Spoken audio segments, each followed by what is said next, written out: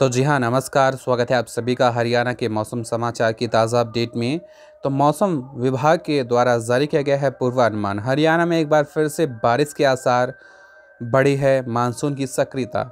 तो जी हाँ अगर आप हरियाणा से हैं, रोज़ाना अपडेट पाना चाहते हैं हरियाणा के मौसम अपडेट तो भी आप इस यूट्यूब चैनल को सब्सक्राइब अवश्य कर लें। इसके साथ ही वीडियो पर प्यारा सलाई कर दें, शेयर भी ज़रूर करें। तो बता दें कि हरियाणा में फिर से सक्रिय वह मानसून वहीं, बता दें कि कई ज़िलों में रविवार को हुई, यानी कि रविवार रात को ही बारिश के बाद तीन डिग्री सेल्सियस तापमान गिर चुका है। अब वहीं पाँच सितंबर तक बारिश के आसार जताए जा रहे हैं। तो बात कर रहे हैं हरियाणा के पानीपत ज़िले की, जहाँ झमाझम बारिश दर्ज की गई है और इससे गर्मी से भी राहत लोगों को मिली है।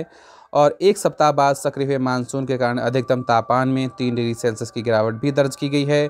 मौसम विभाग के अनुसार पाँच सितंबर तक बारिश के आसार बताए गए हैं। वहीं सोमवार की बात करें, आज इकतीस डिग्री सेल्सियस तापमान रहेगा। हवाओं की रफ्तार चौदह किलोमीटर प्रति घंटे रहेगी। तो ये बड़ी अपडेट आ रही है और इसके साथ ही यहाँ पर चौधरी चरण सिंह हरियाणा कृषि विश्वविद्यालय के मौसम विज्ञान विभाग के अध्यक्ष डॉक्टर मदन खीचड़ ने बताया है कि तेईस अगस्त से मानसून टर्फ रेखा हिमालय की तलहटी की तरफ़ से बढ़ गई थी, जिस कारण मैदानी इलाकों में मानसून कमज़ोर पड़ा है। बंगाल खाड़ी पर हवाओं की चक्रवात बनने के कारण हरियाणा में दोबारा से मानसून सक्रिय हो चुका है। पानीपत समेत हरियाणा में पाँच सितंबर तक गरज चमक के साथ हल्की से मध्यम बारिश होने की उम्मीद जताई जा रही है, जिस जिस कारण दिन और रात के तापमान में गिरावट आएगी।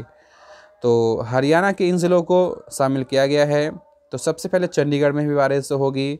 और दिल्ली एनसीआर में भी बारिश दर्ज की जाएगी और पंचकुला, यमुनानगर, अम्बाला कुरुक्षेत्र करनाल, पानीपत, नू, पलवल, सोनीपत, गुरुग्राम, फरीदाबाद में और उनसे सटे ज़िलों में भी बारिश होने की आशंका जताई गई है। तो ये थी अपडेट, लेटेस्ट अपडेट। वीडियो पसंद आई, वीडियो को लाइक करें।